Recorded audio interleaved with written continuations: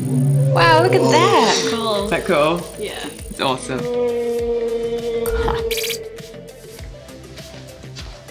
Our classrooms have changed a lot over the past 100 years, and technologists like me are super excited to imagine what they might look like 100 years from now. Technology like augmented reality and virtual reality could open up gateways to whole new ways of learning and whole new ways of seeing and creating the world. When we say the word school, our minds probably think of physical classrooms and prescribed subjects. But the world is changing, and digital technologies are enabling us to use different types of medium to both teach differently and also for our students to experience a different way of learning. I think students in the future should have more flexible learning timetables, such as like choosing what they do, when they do it, and how they do it. It would be good to have a variety of learning spaces for future classrooms like breakout rooms for group projects or quiet thinking time.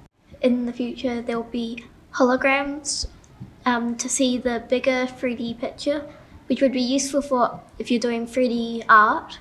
Um, writing, if you're watching a video and you're doing the writing of that, you can be actually in the video. They should have more use of AR and VR, which means students that aren't necessarily as privileged as other people can still have the experience of going to places and doing things and being in that environment that they need to learn. Having all these things available will help more students be more creative. Today's students are learning how to be creators, not just consumers of technology. And tinkering with the digital technology curriculum and including things like 3D printing, coding, robotics, and electronics will allow them to use the problem solving part of their brains and also learn about collaborative teamwork, all of which are crucial skills for their future.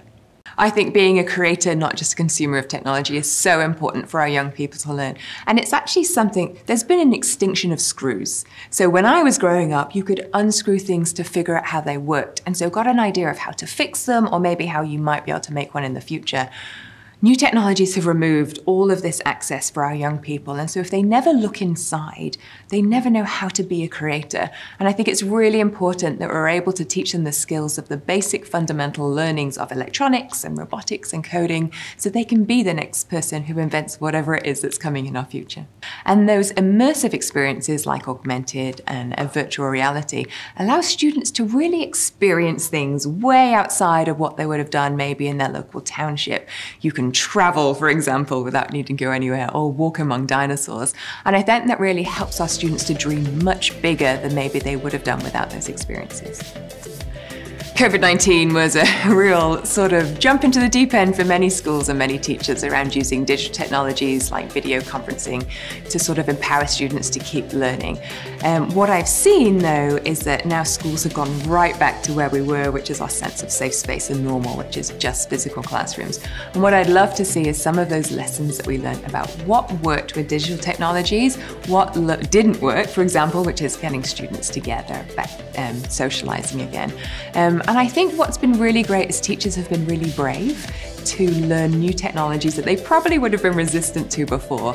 And so I think, you know, students know what worked for them, teachers know what worked for their students. And I'd love to see a hybrid model come in, which allows students to actually learn when they need to, but also teachers to create this confined space also when we need the social experiences. I speak to lots of parents, and they've all said to me that COVID 19 taught them how much their teachers do, and also that it's not just about learning in a classroom, but all of the social skills that they're being taught. And I think there's this renewed relationship between a parent's respect for teaching and teachers and what the education system actually does.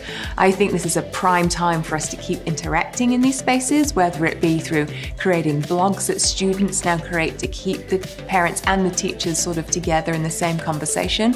Um, but yeah, I think parents have a renewed respect for teachers and all the hard work that they've always done. So we learnt during COVID-19 at, at Nanogirl Labs that the digital divide suddenly became really large, where those students without digital technologies or access at home really disconnected from the education system. We were able to go in and work with lots of those students with partners like Eat My Lunch, and we delivered worksheets and, and science projects for those students. I think now that we've seen how big this divide is, there's been a lot of movement movement towards how do we make sure that these students get access to the technologies that they need and their families have at least one device just in case it happens again. So my passion is around increasing diversity in STEM, making sure that we have representation of our public in the people who are making the products. Otherwise, all that happens is you make something that you think the world needs, but actually you have very little experience of what the rest of the world needs. And so, yeah, increasing diversity and making sure that all students feel welcome is really important. So if you think here in New Zealand and you know the increase in learning te reo Māori is really important, but really important is Mātauranga Māori and learning about our ancestors. And I think virtual reality really allows students to almost go back in time and experience and be around what our ancestral life was and see how they were probably the best inventors ever as they created, you know, ways to navigate that we still can't really replicate today. So I think it's really important that when we're building these technologies, we're thinking thinking about building them not just for our Pākehā students, but also including all of the stories of where we've come from. Research shows that children make up their mind about STEM by the age of 12, which means that actually our primary schools really are shaping our future. Yet most primary school teachers would not say they were experienced STEM teachers or necessarily confident in STEM. And so I'm passionate about helping empower all teachers to really embrace the STEM that they know and they love. We all remember we used to buy music by cassette tape and we've learned how to use a CD and an MP3 and we consume it very differently. So we've all been on technology journeys. I would love to empower teachers to feel like they can continue these journeys, to go into virtual reality, artificial intelligence, 3D printing, to help empower our students for a world that we don't even know what's going to exist yet.